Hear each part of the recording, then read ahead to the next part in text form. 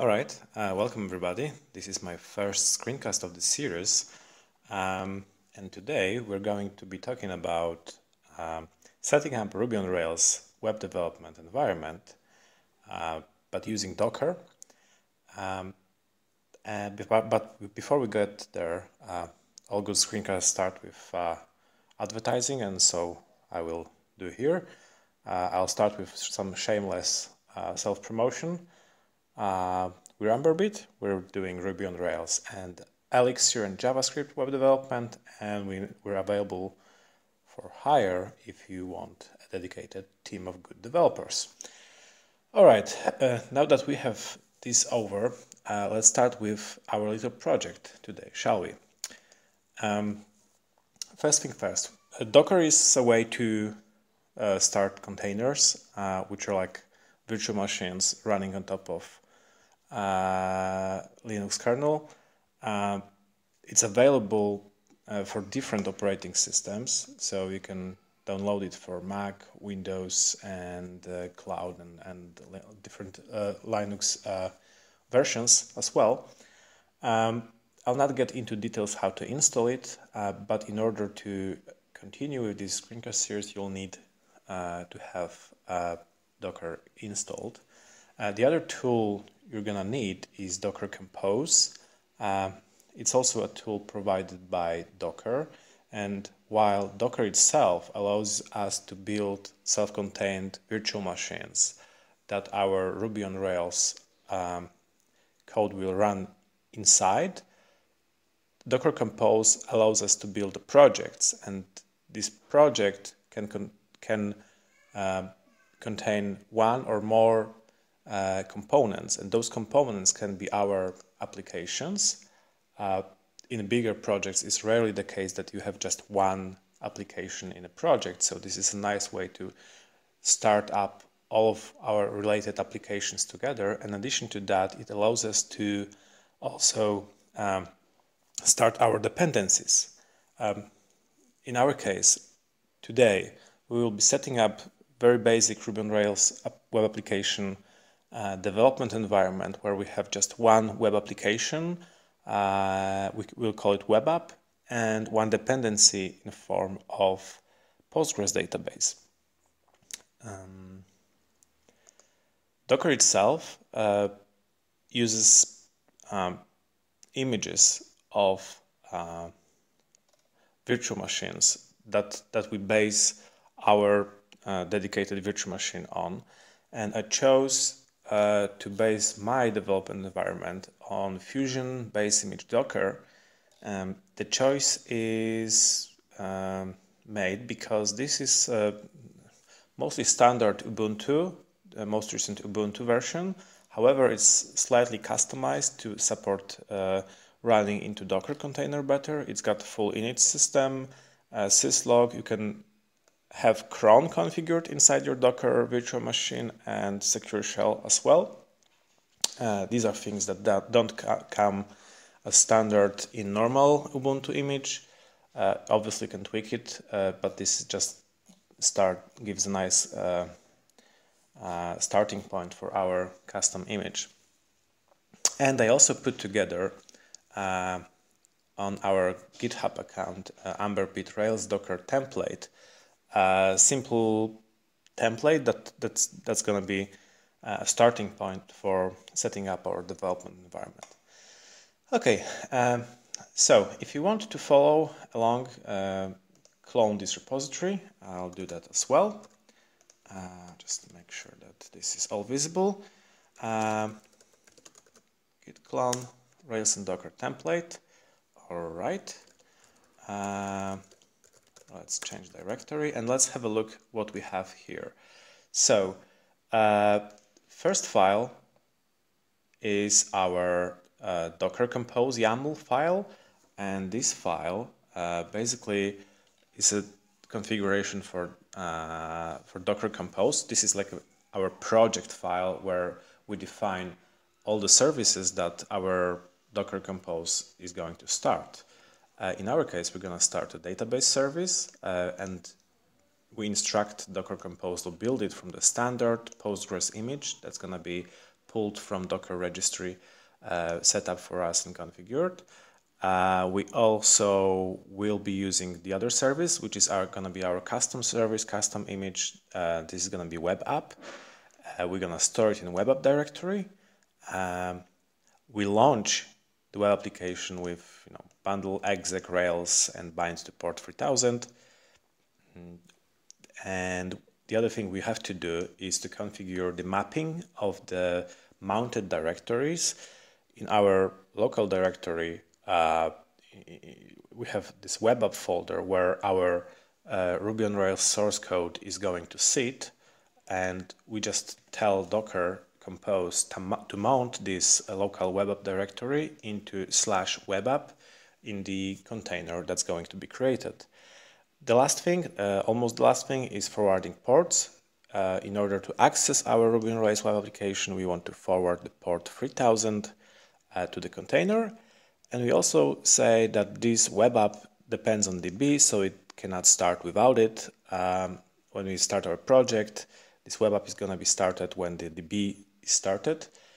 Um, as a side effect, this also allows to access the, um, the DB virtual machine from the web app virtual machine using the name DB. Uh, so we don't have to use IP address and not configure anything. Uh, this DB is going to be added to the hosts file, uh, so we can have a nice communication between those. Um, okay, uh, the other configuration file uh, this template comes with is a Docker file, and it's pretty pretty small. I try to keep it basic so you can uh, edit it yourself. Uh, let's run through it quickly. Uh, this just instructs to use this base image Docker from the Phusion guys uh, and, and, start it properly. Then we need to add the, we, we need to install most recent Ruby version, which is currently 2.4. I'm using the Brightbox RubyNG uh, packages, which are kindly provided by the Bright, Brightbox uh, guys for us, uh, so we can uh, we don't have to compile our Ruby ourselves. We install some dependencies, uh, build essentials, SSL, etc., etc., and also uh, we install Ruby in the most recent version, which is currently resolved to 2.4.1. little utility tool we also installed in the step above allows us to switch the globally Ruby version uh, in the container so that the Ruby command is Ruby 2.4. We do some cleanup. Uh, we don't want to run our web application as a root, even, even in the container, so we create a special web app user for it. Uh, we make this directory in slash web app, change this directory, and now we add to our image those uh, file uh, and Gemfile lock files that uh, that I also prepared as part of this uh, template. Uh, we're to discuss those in a second. Next steps, uh, make sure that are proper permissions and login as a user. Also configure the Ruby and Ruby gems to install all the gems locally because again, we don't want to run bundle install or install any gems as a root. We want to keep it contained within web app user. Uh, install bundler, rake, and run bundle install at the end. Um, so that's the recipe that Docker is and Docker Compose are going to use to build up our development environment. Okay, uh, I mentioned two other files. We have gemfile and gemfile lock. Gemfile lock is, is empty. That's a just file added here so the, that the bundle doesn't complain. Uh, gemfile uh, itself uh, points to uh, Ruby gems and since we want to also generate the initial web application scaffold from within the container and we don't want to install Rails on our host machine at all um, to keep it nice and clean, uh, we install Rails uh, inside this gem file. So when we initially build the, the Docker image for the web app, it's not going to contain any uh, like Ruby on Rails project files. Uh, we want to scaffold that. Uh, uh, but we need to have Ruby on Rails installed gem and this what's gonna bundle install is gonna do for us. Okay, um, let's go back to our console and see how those things uh, work in practice. Um, first command we have to execute is to build this uh, environment is docker compose build. This might actually take uh, longer for you, uh, depending on your uh, connection. Um, I already did that a couple of times uh, today and yesterday, so it's mostly using cached uh, versions for me, so it was instant. This is really nice thing about this image and uh, Docker that unless you're making some um, basic changes, the, the sequential builds of, of the image are going to be very, very fast. And what it did is, is basically took the Docker compose file, ran through all the services, installed uh, the database, installed our web app, built the, uh, uh, built the uh, container for our application. Uh, the container is now nowhere here. It's somewhere in the var directory, var docker, I believe. Uh, so it doesn't pollute our project directory. It's still nice, clean, and tidy but we need to generate our uh, Ruby on Rails application. And in order to do that, you have to, well, normally you would just do Rails, new, and then some parameters. Uh, but since we're uh, using our um, Docker, and we, we need to execute this command within Docker, uh, Docker container, Docker compose co comes with uh, following syntax. syntax. Uh, Docker compose run and now we give the name of the container. In our case, this is going to be web app. Uh, so if you want to generate a new project, we do that. Docker compose run web app Rails new.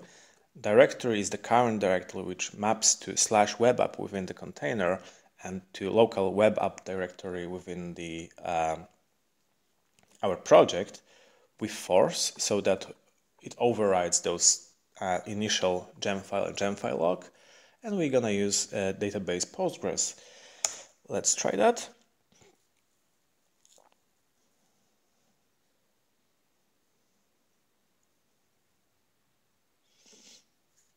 As we can see, what it did is it says it created uh, those files and now it's installing those files.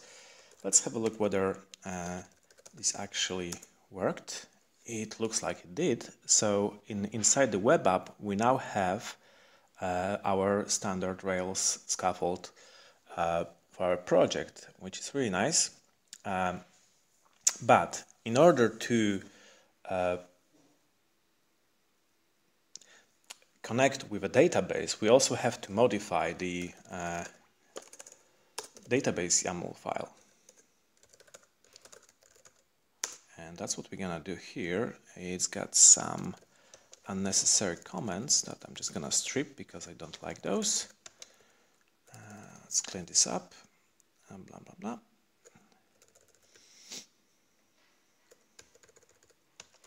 Okay that looks fine so our uh, config uh, database YAML we need to specify the host and we can use the DB host name uh, username Postgres and the password is going to be empty. And in the meantime, we can see that uh, installing all the uh, gems finished, which is nice. Uh, and now we can, okay, so after we modify gem file, uh, we have to rebuild our Docker image because uh, otherwise those those dependencies, those gems, the new gems installed on the system are not going to be uh, within our Docker image. We have to rebuild our container only when we modify the gem file or we need, want to install extra software within the container itself. So if we need a package, uh, we would add it to the Docker file, run the compose build. So it also includes that uh, extra uh, extra libraries or, or tools. However, we don't have to run the Docker build, uh, Docker Compose build when we modify our source code. Uh, this is going to work uh, out of the box. This is because uh, the image itself doesn't uh, contain those Rails files at all. They are just in a mounted directory. So we can just modify those and they will be picked up immediately. Okay, uh, so we have to build it. Okay, that's nice. Uh, and now I think we can start our web application. Docker Compose comes with app, uh, alternatively start, uh, also start uh, all the services, but uh, I'm just gonna use Docker Compose app here, uh, which takes the Docker Compose file and starts all the services in proper order. And let's do that. Let's see what it does. Uh, first, as you can see, it started the DB service, which is our Postgres service. and then we started our Ruby on Rails web application. Uh, so far, so good. Let's have a look uh, whether that works. Yeah, you're on Rails. So that seems like we generated our um, first application correctly. Okay, cool. Uh, let's now create a database. Again, docker compose run web app rake db create. This can be alias to something shorter uh, if we don't want to type those docker compose run web app all the time. And as you can see, uh, we created a database uh, for uh, development and test. That's all we need. Okay, uh, now, uh, what do we have to do now? Right, probably makes sense to generate some scaffold. So Docker Compose run web operation scaffold for users, first name, last name, email, okay. And now run the migrations.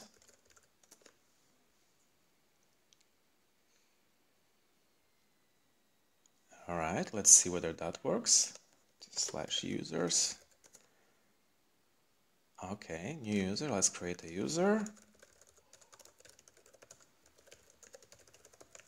Uh, we create the user, nice. Let's see whether that survives the project restart. So I'm just gonna control C here to stop the project. Our web app stopped, the database container stopped. And let's bring it up again. Um, okay. Let's refresh the page. Here we go. Uh, the Postgres is configured in a way that it pre preserves the uh, database itself, which is nice, so we don't have to recreate everything from scratch on the next run. Uh, the last thing is to check whether our tests pass. Ah, this is not gonna work because we have to uh, compose run web app uh, rake test, I believe. Again, this starts our uh, Docker template and runs our tests, nine assertions, zero failures. So all those scaffolded tests are passing. Uh, and looks like we have our web development environment set up correctly. Okay, uh, in the next uh, episode, I'm going to be show you how to deploy uh, your application, uh, Ruby on Rails web application to um, to the server using Docker. Uh, so stay tuned, follow our blog on amberbit.com. Um, we have some nice, interesting posts there, not just screencast. Actually, this is the first one. Uh, and see you again next time. All right, thank you. Bye.